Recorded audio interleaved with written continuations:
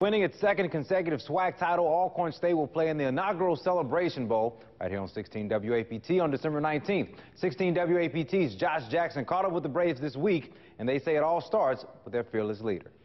Prior to Jay Hopson's arrival in Lorman, the Alcorn State football program was in shambles. The team had experienced five consecutive losing seasons under four different head coaches. We just knew coming in here, I'm like this program, you know, is really in a, in a hole. When I got here, I can promise you, I wasn't expecting for us to win back-to-back -back championships. Yeah, during Anthony Williams' freshman year, not many people did. Coach Hopson will lead us forward.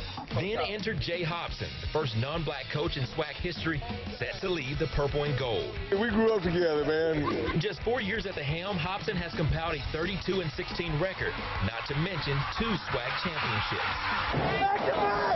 Hopson not only raised expectations, he changed the culture. It was about, you know, a brotherhood, you know, a family, you know, and everybody working as one. And he always preached to us that we were going to be on top. The journey we went through was, was a journey. You know, we, we took our knocks early. Started 4 and 7. You know, we had some pretty tough, embarrassing losses. I remember distinctly, you know, going to James Madison, Arkansas State, losing by over 50 points. It's safe to say Alcorn State started from the bottom. Now they're here. Here being the inaugural Celebration Bowl in Atlanta, Georgia. It's a blessing, you know, to play in the very first Celebration Bowl to represent Alcorn State University. The Braves are loaded with dynamic playmakers. Running back Darian Ragsdale averages eight yards a carry. SWAC Newcomer of the Year Marquise Warford has racked up more than 1,400 yards of total offense. On the other side of the ball, the Braves led the conference in total defense. Alcorn now with a shot at back-to-back 10-win seasons.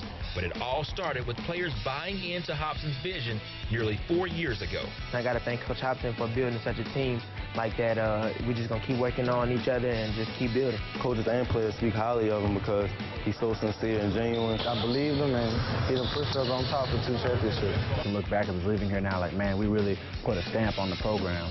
They kept fighting, they kept working, they kept preparing, and uh, you know, and they're just a tremendous special, they're a special group to me. Reporting from Lorman, Josh Jackson, 16, WAPT Sports.